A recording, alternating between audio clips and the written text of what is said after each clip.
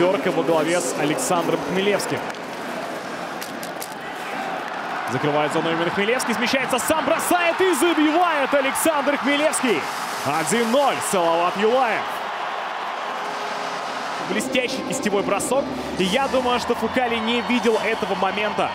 Как раз потому, что на линии броска был защитник.